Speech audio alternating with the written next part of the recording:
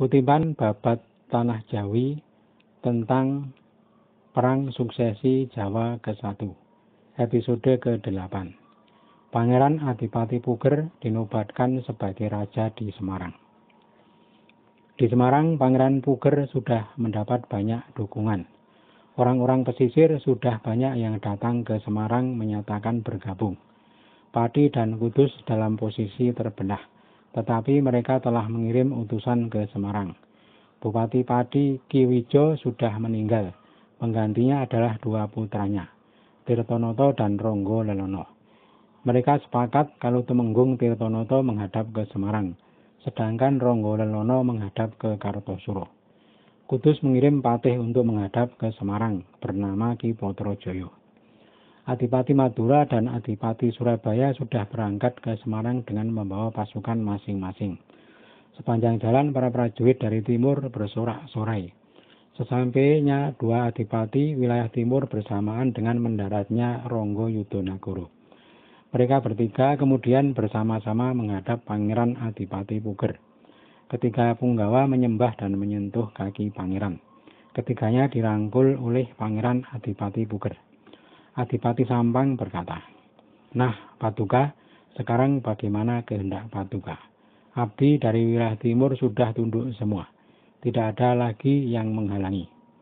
Pangeran Puger berkata, Dinda, aku ucapkan terima kasih. Mas Ronggo Semarang maju mengaturkan surat dari Gubernur Jenderal. Surat telah diterima dan dibaca dengan seksama. Pangeran sangat kaget membaca surat dari Gubernur Jenderal. Pangeran Adipati Puger berkata, Kibisan, aku tak mengira kepergianmu sangat lama. Sempat aku mengira tak akan mendapat hasil. Mas Ronggo berkata, lama karena sangat alot pembicaraannya. Saya di Betawi sampai dikurung tiga kali, masing-masing seminggu lamanya. Bekal saya 12 ribu rial habis semua saya pakai untuk membeli hadiah untuk Gubernur Jenderal dan Dewan Hindia. Walau demikian, saya usahakan tetap cukup. Ronggo Semarang kemudian menceritakan perjalanannya dari awal sampai akhirnya mendapat persetujuan dari Gubernur Jenderal dan Dewan Hindia. Sekarang semua sudah selesai. Gubernur menyetujui pengangkatan Pangeran Puger menjadi raja. Juga sudah mengirimkan bantuan pasukan dari Makassar dan Bugis. Pangeran Puger berkata pelan.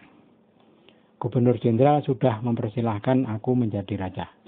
Dinda Adipati Madura, bagaimana pendapatmu kalau sekarang aku berdiri menjadi raja di negeri Semarang?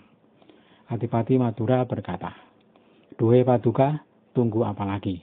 Mari sekarang Paduka laksanakan. Semua abdi sudah setuju, tak ada penghalang lagi. Mas Ronggo berkata sambil menyembah.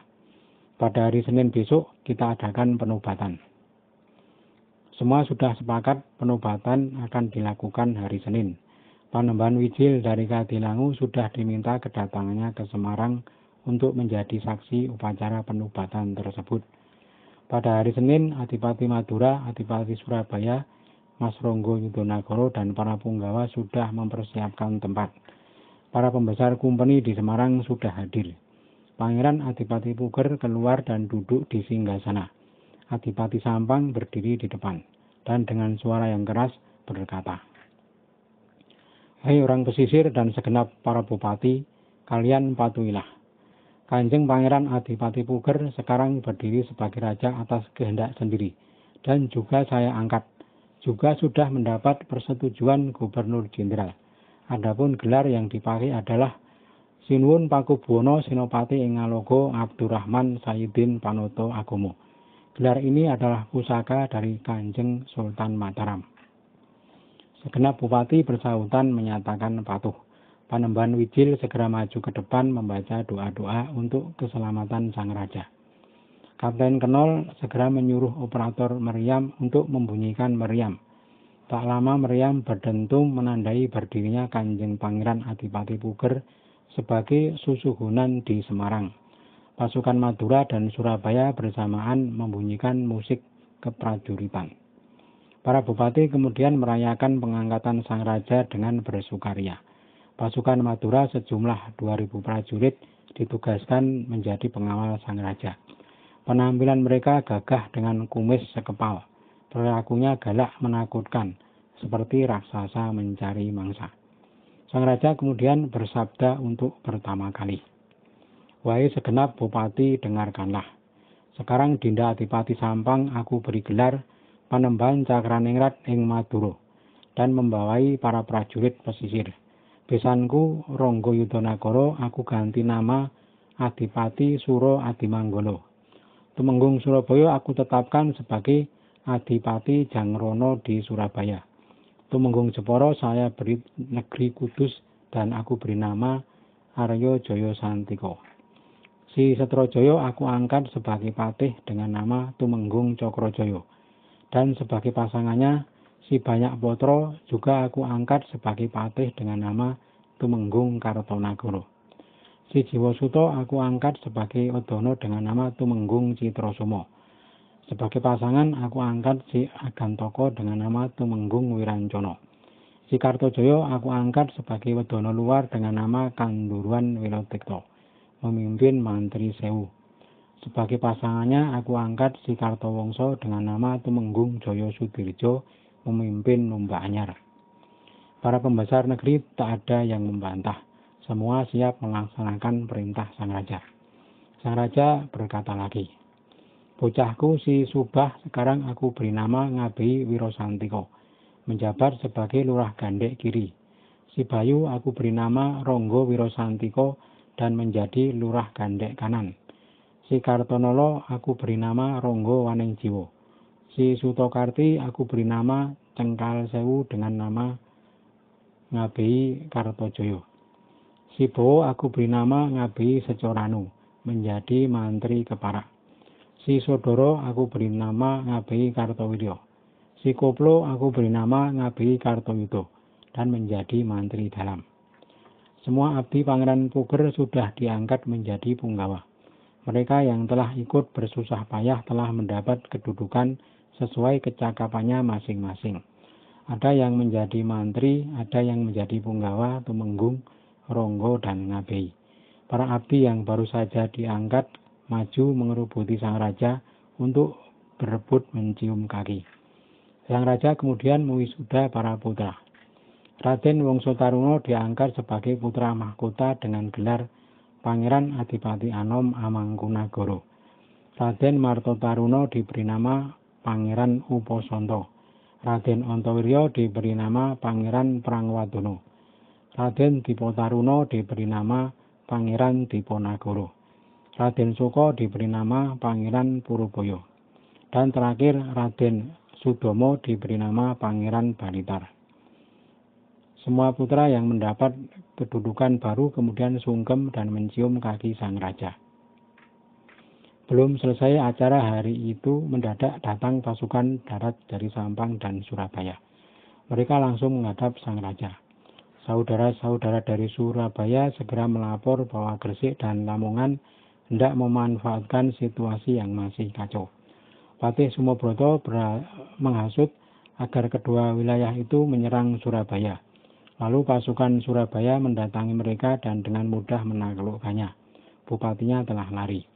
Adipati Surabaya Jangrono panas hatinya mendengar laporan pasukannya. Adipati Jangrono kemudian melapor kepada sang raja. Berkata Adipati Surabaya, Gresik dan Lamongan diserang dan dibakar karena mereka menyalahi kesepakatan. Adapun yang menyerang adalah Abdi Paduka, yakni dua saudara saya yang muda. Adipati Surabaya lalu menjelaskan duduk perkaranya. Sang Raja dapat menerima.